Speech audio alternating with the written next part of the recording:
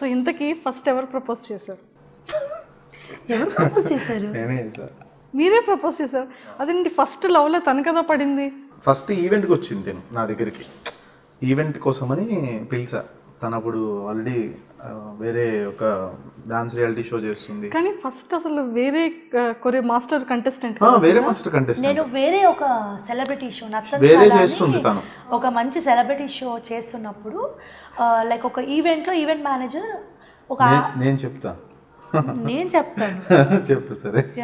So పిలిచారు. ఉండండి ఉండండి పాపం అతనికి. ఓకే. జన్యున్గా చెప్పాలి నేను అబద్ధాలు అయ్యో అస్సలు. సో పిలిచాను. ఇట్లా ఈవెంట్ కోసమని ఇలా ఈవెంట్ వాళ్ళు అడిగారు అనమాట ఇట్లా జ్యోతి బాగా చేస్తుంది కదా తను పెడితే బాగుంటుందని. సరే నేను చెప్తానని తిని ఇక్కడే పిలిచాను ఇక్కడే. సరే వచ్చింది. నేను చాలా మందిని అప్పటికి హీరోయిన్స్ని ఇంకా చాలా మందిని అందరినీ చూసా. బట్ అది ఏమో ఆ రోజు గ్రహణాలన్నీ అట్లా కలిసి ఒక దగ్గరికి అంటే వచ్చాను మంచి జరిగిందా? మంచి అరే చెప్పని నన్ను. నన్ను కంప్లీట్ చేయండి మధ్యలో రాకు. అయితే మామూలుగా వచ్చింది. మామూలుగా సింపుల్గా చాలా సింపుల్గా వచ్చింది. అంటే సింపుల్ అంటే మాకు అసలు అప్పుడు ఏం తెలియదండి తెలియదంటే ఫేస్బుక్ లేదు ట్విట్టర్ లేదు. ఇప్పుడున్నంత ఇప్పుడు ఒక చాలా క్యాజువల్గా వచ్చింది ఒక మేమంతా ఒక తొట్టి బ్యాచ్ అండి వీళ్ళ ముందు. వీళ్ళందరూ ఎలా అసలు వీళ్ళందరూ అప్పుడు మాస్టర్స్ కదా. మా ముందు ఎలా ఉండేవారంటే ఇలా ఇలా మేము నడుచుకుంటూ వెళ్తుంటే మేము అందరం ఇలా మేము హెడ్ ఫోన్స్ పెట్టుకుని వన్ టూ త్రీ ఫోర్ వీళ్ళు ఇలా ఇలా వెళ్ళి "ఆ, అన్న సందీప్ బెన్ని అన్నయ్య. ఇంకా మా అందరికి మేము జూనియర్స్ పరిచయాలు అనమాట అని వీళ్ళు మాకు సీనియర్స్ కదా. వీళ్ళ బిల్డప్లు మామూలుగా ఉండేవి కాదు. అమ్మో ముందు అసలు. మేము అందరూ చూస్తూ ఉండేవాళ్ళం. అప్పుడు నుంచి అనుకున్నాను. ఎందుకో అందరినీ అన్నయ్య కామన్ ఆట అంటే అన్నయ్య కదా. అన్నయ్య అనాలనిపించింది. ఇక్కడికి వచ్చాను. ఫస్ట్ తన్ని చూడగానే అనుకున్నాను అసలా బాగున్నాడే అనుకున్నాను. ఫస్ట్ మామూలుగా అంటే టీనేజ్ అప్పుడు ఎగ్జాక్ట్ సెవెంటీన్ ఇయర్స్ ఏదో అంటారు కదా ఫుల్ క్రేజీ క్రేజీ ఉంటాం కదా. కామన్గా టీనేజ్ అంటే ఎలా ఉంటుంది? ఫ్రెండ్స్ అసలు చూడగానే అలా. చూడగానే అనుకున్నాను పర్లేదు బాగానే ఉన్నారు. బాగున్నాడే అని అనిపించింది. ఇంకా తనకి కూడా సేమ్ ఫీలింగ్ అనిపించింది. ఇప్పుడు ఇప్పుడు నెక్స్ట్ తనకి వచ్చింది లోపల కూర్చో రా మామూలుగా ఇక్కడికి వచ్చింది. నేను లోపల ఉన్నా. ఆ, మామూలుగా తన్ని పిలిచా అనమాట కూర్చో ఒకసారి అని. జస్ట్ పరిచయం అప్పుడే నాకు. సరే నార్మల్గా పిలిచి కూర్చున్నా. ఒక రెండు సెకండ్ల తర్వాత ఏమనిపించింది ఏమో తెలియదు కానీ నాకు నేను ఒకసారి నించో అన్నా తనకి కన్ఫ్యూషన్ అసలు ఎందుకు నించోమన్నాడని? ఎందుకు? అని అడిగింది. ఊరికే నించో ఒకసారి అన్న. నించుంది. చూశాను కూర్చుంది మళ్ళీ. చూసిన తర్వాత ఇంకా సరే ప్రాక్టీస్ చేద్దామన్నా ఇంకా ప్రాక్టీస్ చేసా తర్వాత మీరు ఏం క్యాస్ట్ అని అడిగా. మా డాడీ మా నాన్నగారు బయటే ఉన్నారు. వీళ్ళ ఫాదర్ కూడా ఉన్నారు. మా డాడీ వచ్చి డ్రాప్ చేశారు ప్రాక్టీస్కి అక్కడ ఉన్నారు బయట ఉన్నారు. నేను లోపల ఉన్నాను. నిల్చో అంటే మేబీ ఏంటి నేను డాన్స్కి ఇలా వచ్చింది అమ్మాయి అని చూస్తున్నారేమో అని అనుకున్నాను. తనకి హైట్ చెక్ చేసుకుంటున్నా. హైట్ చెక్ చేసుకున్నా. స్టార్టింగ్లోనే పడిపోయింది. క్యాస్ట్ అడిగారు అదేంటో? ఇద్దరి క్యాస్ట్ ఒకటే. ఏమల్లే ఫస్ట్ డైలాగే ఒకసారి నించో అన్న అంతే. నించుంది నేను అసలు ఇంకా నేను వేరే థాట్ కూడా లేదు నాకు. తర్వాత అయిపోయింది క్యాస్ట్ గురించి చెప్పి అడిగింది. అది సేమ్ క్యాస్టా అన్న? అవును సేమ్ క్యాస్ట్ ఇట్లా అనుకోకుండా సేమ్ క్యాస్ట్ ఇద్దరిది. తక్కువని అరే ఏదో బాగానే కలిసిందే క్యాస్ట్ కూడా అని చెప్పి ఇంక అట్లా స్టార్ట్ ఇంకా తర్వాత ఒక రోజు మెసేజ్ పెట్టా డైరెక్ట్ ఐ లవ్ యూ అని చెప్పలేదు కానీ but I want marry you అని డైరెక్ట్గా Direct propose I want marry you and will talk with your parents చెప్పాను కదా మా వారు ఇంకా ఆ ఏజ్లో ఉన్నట్టుండరు ఇంకా 60 love years maturity అని ఇవన్నీ చెప్పాను ఎందుకు సో ఆ ఏజ్లో ఎవరైనా కామన్ ఇలా ఒక ఫ్లవర్ తీసుకొచ్చి ఇలా అని ఇలా proposal darling I love you ఆ స్టేజ్ లేదు అప్పుడు. అప్పుడు కూడా ఎక్కువ మెచ్యూరిటీ అప్పుడు కూడా నేను నిన్ను పెళ్ళి చేసుకుంటాను ఇలా ప్లాన్ చేద్దాము. నేను మ్యారేజ్ చేసుకోవాలనుకుంటున్నాను. అప్పుడు కూడా మెచ్యూర్డ్గానే మాట్లాడాను. నేను ఎక్స్పెక్ట్ చేశాను. నేనంటే నేను తనకన్నా చాలా చిన్నదాన్ని కాబట్టి మనకు సినిమాటిక్ ఉంటుంది కదా సినిమాలో. హీరో అలా వచ్చినట్టు. మా ఏజ్ అలాంటిది. ఇలా లవ్ ప్రపోజ్ చేసినట్టు ఇలా బెలూన్స్ వెనకాల లవ్ బెలూన్స్ అలా విసిరినట్టు ఇలా ఒక చాక్లెట్స్ కొనిచ్చినట్టు సినిమాటిక్గా అలా థింక్ చేశాము. అప్పుడు సడన్గా షాక్ వచ్చేసి ఇలా సీరియస్గా ఫేస్ పెట్టి ఇలా కూర్చొని నేను నిన్న మ్యారేజ్ చేసుకోవాలనుకుంటున్నాను. ఓకే ఇంక ఇప్పటి నుంచి డాన్స్ అన్ని స్టాప్ అంతా క్లోజ్ ఇంకా ఈవెంట్స్ ఏం చేయొద్దు. నాకు నార్మల్ అమ్మాయిలాగా ఉండు. హ్యాపీగా ఇంట్లో తిని కూర్చో. నేను ఒక సిక్స్ మంత్స్ తర్వాత మీ పేరెంట్స్తో మాట్లాడతాను. ఎయిట్ మంత్స్లో కల్లా మన మ్యారేజ్ అయిపోవాలనేసాడు ఎంత ఈజీగా మాట్లాడారు సార్. అంటే నేను already schedule prepare schedule prepare చేసా క్లియర్గా చెప్పాను కదా, తను పట్టిన కుందేలకి నాలుగు నాలుగు. చేసుకుంటానన్న తర్వాత ఏమైనా మీ రెస్పాండ్ కోసం ఆ, నా ఒపీనియన్ తెలుసు. ఎందుకంటే తన ఫీలింగ్ తెలుసు నాకు నేను తెలుసు రకాలుగా సూపర్బు. నేను ఫుల్ తనకన్నా అది తెలుసు.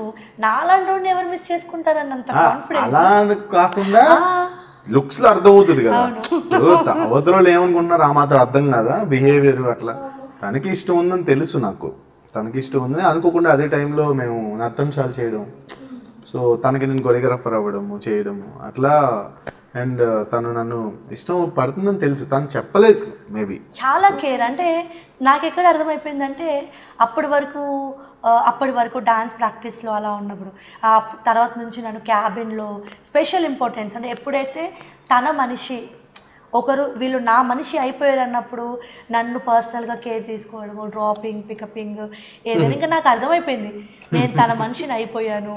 ఇంకా పక్కన అసిస్టెంట్స్ కూడా మారిపోయారు. వీళ్ళ వీళ్ళందరూ ఇంకా వదిన అయిపోయినట్టే వాళ్ళు కూడా స్పెషల్ కేర్. అక్కడి నుంచి వస్తుందంటే ఆ వదిన చెప్పండి. ఆ చెప్పండి. ఆ వదినకి ఏ వదినకి వాటర్ కావాలంటారా? అంటే తన చుట్టూ ఉన్న మనుషులు కూడా నాకు రెస్పెక్ట్ వాళ్ళకి కూడా అర్థమైపోయింది. సో ఆటోమేటిక్గా అలా మ్యారేజ్ ప్రపోజల్ వచ్చింది.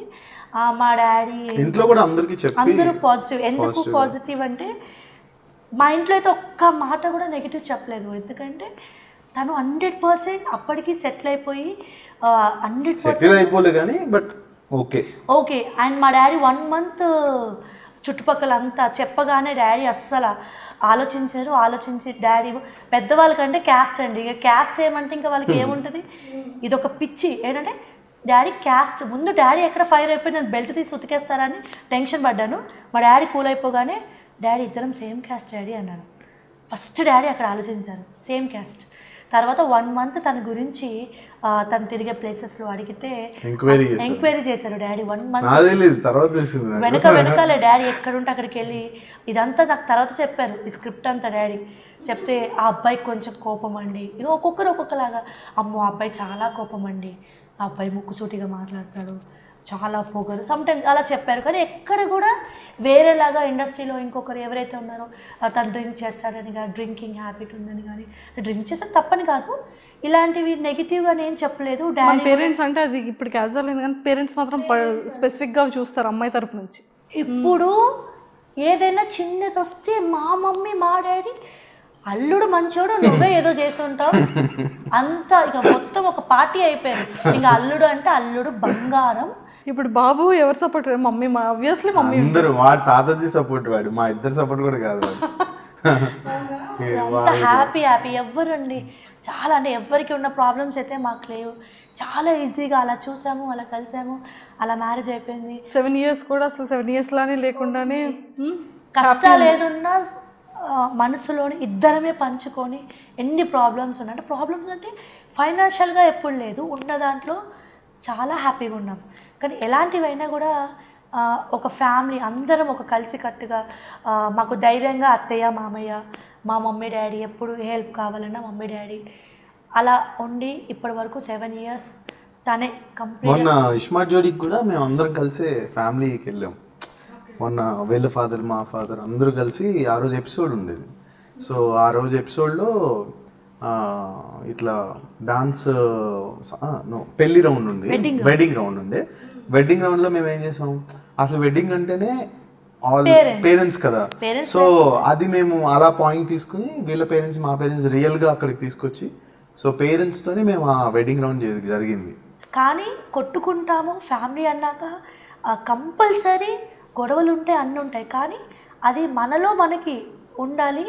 అది త్రీ డేస్ అయినా ఫోర్ డేస్ అయినా మనకి మనం కొట్టుకున్నా మాట్లాడుకున్నా మనలో ఉండాలి. కానీ బయటి వాడికి తెలియకుండా మన గుట్టు అంటారు కదా మనలో మనము. కంపల్సరీ యాజ్ ఎ ఫ్యామిలీ ఉన్నప్పుడు ఏ వైఫ్ అండ్ హస్బెండ్కి అయినా ఫ్యామిలీ అన్నప్పుడు గొడవలు లేకుండా ఉండదు. ఇంపాసిబుల్ కానీ మన గుట్టు మనము. అదే మనం బయటికి వెళ్తే అవతల షాక్ అయిపోయారు నిన్నే కదా వీళ్ళు ఇద్దరు ఏలే నిన్నేగా వీళ్ళు ఇద్దరు ఇలా కొట్టుకున్నారు ఏంటి ఈరోజు అబ్బో! అలా షాక్ అయిపోయి నా ఒపీనియన్ అది. ఏది ఉన్నా ఓపెన్ అయిపోవాలి. ఇప్పుడు కోపం ఉందంటే నాకు ఇది నచ్చలేదు అని ఒక వన్ అవర్ కోపంగా మాట్లాడను. ఆ వన్ అవర్ తర్వాత ఇంకా మనసులో ఏది ఉండకూడదు. మళ్ళీ అని ఇక వన్ అవర్ తర్వాత ముందు జరిగింది నిజమేనా అన్నట్టుగా మళ్ళీ ఉంటారా అలా? నేనంటే చాలా ఇష్టం కదా. సో నేను ఏది ఉన్నా మళ్ళీ దా నా దగ్గరికి రావాల్సింది. అంతే. ఎందుకంటే తనకి హర్ట్ చేస్తారు సమ్ టైమ్స్ ఏంటంటే దురుసుగా తనకు ఉన్న టెన్షన్స్కి వాటికి వీటికి ఎప్పుడైనా అంటారు. తర్వాత మళ్ళీ తనే ఏదో ఒకలాగా ఐస్ చేసేస్తారు. ప్రేమ అండి ప్రేమ. ప్రేమించే హస్బెండ్ ఉండొచ్చు కానీ అతిగా ప్రేమించే హస్బెండ్ ఉన్న ప్రాబ్లమే అలాగా ఏంటంటే డైటింగ్ అయినా కూడా ప్రాబ్లం వద్దు. నాకు ఫ్యామిలీయే ఇంకా నాకు ఏం వేరే థాట్స్ ఉండవు. మ్యాక్సిమం పని. లేకపోతే పార్టీస్కి నేను పోను. అసలు పార్టీస్కి less time I I give very less preference నాకు ఖాళీ దొరికితే ఇంట్లో వీళ్ళతో ఫ్యామిలీతో నాకు పిచ్చ సినిమా. నాకు ఇంట్లో కూర్చొని నాలుగు సినిమాలను చూస్తా. రోజు మార్నింగ్ ఖాళీ ఉందంటే సినిమా. ఫోర్ ఫైవ్ మూవీస్ అది కూడా English Korean whatever what not Hindi Tamil Telugu Kannada అన్నీ చూసేస్తా. అన్నీ చూసేస్తా. సో ఇల్లు ప్రపంచం నాకు. My world is always my home so అక్కడే ఉండాలి అని మాక్సిమం నా టైం అంతా వీళ్ళకి ఇస్తా. టైం దొరికితే హ్యాపీగా అందరం. ఫ్యామిలీ చాలా హ్యాపీగా అందరం కలిసి. అప్పుడు మా మమ్మీ డాడీని కూడా అంటారు అంతయ్య మావయ్య రండి మీరు కూడా జాయిన్ అవ్వండి. సో పేరెంట్స్ అందరం ఒక ఇంట్లో ఉండాలి. తనకున్న మ్యాక్సిమం టైం ఫ్రెండ్స్ పిలుస్తూ ఉంటారు. ఇప్పుడు ఉన్న సర్కిల్లో తను వెళ్ళాలంటే చాలా పార్టీస్ ఉంటాయి. రోజు కాల్స్ పిలుస్తూ ఉంటారు. పిలుస్తూ ఉంటారు. చాలా పార్టీస్ ఉంటాయి. నెగిటివ్ ఎనర్జీ ఉంటే నచ్చదు. నా చుట్టూ పాజిటివ్ ఎనర్జీనే బిల్డ్ చేసుకుంటా. నా చుట్టూ ఉండే మనుషులు కూడా నన్ను ప్రేమించే వాళ్ళు నన్ను ఇష్టపడే వాళ్ళు నేను వాళ్ళని ఇష్టపడే వాళ్ళు చాలా తొందరగా దగ్గర అవ్వను. అలా పాజిటివ్ ఎనర్జీని బిల్డ్ చేసుకుని గుడ్ పీపుల్ నా దగ్గర ఉంచుకుంటా ఎప్పుడు నా చుట్టూ. అప్పుడే మనం ఆల్వేస్ గుడ్గా ఉంటాం అలానే పార్టీస్కి వెళ్ళి స్పెండ్ చేసే వాళ్ళందరూ బ్యాడ్ అని కాదు. వెళ్తా పార్టీస్కి వెళ్తారు. వెళ్తా. తెలియకుండా వెళ్తారు నాకు తెలియకుండా ఇస్తారు తెలుసు. వెళ్ళే ముందు తెలియదు వచ్చాక లేదు పార్టీకి వెళ్తే చెప్పే పోతా. పార్టీస్కి ఒకవేళ వెళ్తే మాత్రం కంపల్సరీ చెప్పే వెళ్తా. అండ్ ఏదైనా చాలా చాలా లిమిట్. అంటే ఎప్పుడు గా కూడా. ఈ వయసుగా వెరీ ఒకేషనల్లీ అకేషనల్ ఏది ఉన్నా చాలా రెస్పాన్సిబుల్ ఉంటారు చెప్పాను కదా ఇప్పుడు ఈ ట్వంటీ ఫైవ్ ఇయర్స్ మెచ్యూరిటీ కాదు సిక్స్టీ ఇయర్స్ మెచ్యూరిటీ సో తనకి ఏంటంటే ప్రతిదీ కూడా డీప్గా వెళ్ళిపోతారు డీప్ అవునన్నా మనకి ఇప్పుడు మాకు ఎలా ఉంటుందంటే ఈ ఫీల్డ్లో మీకు తెలిసిందే కదా ఎప్పుడు ఎలా ఉంటుందో తెలియదు సిచ్యువేషన్ ఈ రోజు ఉన్నది రేపు ఉండకపోవచ్చు రేపు ఉన్నది ఎల్లుండి ఉండకపోవచ్చు. So we have to be like fast ఎలా ఉన్న వాళ్ళు పెద్ద పెద్ద తోపులే వన్ నైట్లో అవుట్ అండ్ నథింగ్ ఉన్న వాళ్ళు వన్ నైట్లో ఎక్కడికో ఉన్నారు ఇప్పుడు ఈ రోజుల్లో. సో మనది అందరూ డాన్స్ కొరియోగ్రాఫర్ ఫీల్డ్ అంటే we have very less and we have ratio around like one is two thousand competition one is two thousand అంటే ఇట్స్ నాట్ చాలా పెద్దది విషయం అది. సో మాకేంటంటే ఉన్నప్పుడు దీపం ఉన్నప్పుడు ఇల్లు చక్క పెట్టుకోవాలి అంటారు. సో నేను ఆ పాయింట్లో అన్నీ అన్నీ సెట్ చేసి పెడేస్తా.